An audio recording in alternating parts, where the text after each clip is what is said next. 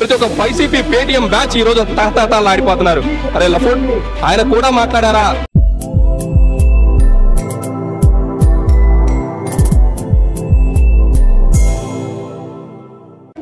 Megastar Chiranjeevi గారు ఆయన సినీ ఇండస్ట్రీలో సోకాల్ కొంతమందికే పరి పరిమితమైనటువంటి ఈ సినిమా ఇండస్ట్రీని కొత్త వాళ్ళు కూడా రావాలి కొత్త వాళ్ళకు కూడా అవకాశం కలిగించాలి అని ఆయన చేసి చూపించి ప్రతి ఒక్కరు కూడా ఆదర్శంగా నిలిచినటువంటి వ్యక్తి మెగాస్టార్ చిరంజీవి గారు. ఆయన సహృదయంతో ఒక మాట చెప్పారు. ప్రభుత్వానికి ఒక సూచన ఇచ్చారు. ఏమనిచ్చారు? బాబు పిచ్చుకు మీద ఎందుకు బ్రహ్మాస్త్రం వేస్తారు? మనకి ఎన్నో సమస్యలు ఉన్నాయి. ఆ రోజున కేంద్ర మంత్రిగా ఉన్నప్పుడు ఆయన ఏ విధంగా పార్లమెంటులో చాలా నొక్కి ఒక్కానించి ఆంధ్రప్రదేశ్ రాష్ట్రానికి రావాల్సినటువంటి హక్కుల్ని ఏ విధంగా ఆయన ప్రశ్నించారో అవన్నీ కూడా ఈ రోజున మీరు ప్రభుత్వం మీ చేతుల్లో ఉంది.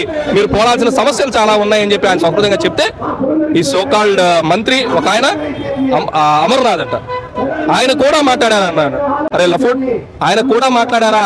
అని ప్రజలందరూ ఈ అడుగుతున్నారు. ఆయన ఆయనకు ఒక్కరికే మాట్లాడే అర్హత ఉందిరా? అని ఈ రోజున జనాలందరూ కూడా మిమ్మల్ని తిడతా ఉన్నారు. ఇంకేమంటావు? ఇంకొక మంత్రి వస్తాడు. చిరంజీవి గారు చిరంజీవి గారిని విమర్శిస్తే ఏ విధంగా అయినా సరే పదవులు రావచ్చు అని చెప్పి ప్రతి ఒక్క వైసీపీ పేటీఎం బ్యాచ్ ఈ రోజు తహతహలాడిపోతున్నారు మీరు ఎన్ని కళల కన్నా మీరు ఎన్ని ఎన్ని లఫ్వుడ్ యొక్క విమర్శలు చేసినా కూడా త్వరలోనే మీ యొక్క ఆరు నెలల్లో ఎనిమిది నెలల్లో పదవి కాలం ఉంది. మీరు వెళ్ళిపోవడం తథ్యం. మీరు ఇలానే రెచ్చగొడితే చిరంజీవి గారు కనుక బరిలోకి దిగారంటే మీకు డిపాజిట్లు కూడా తక్కడు. దక్కవు జాగ్రత్త.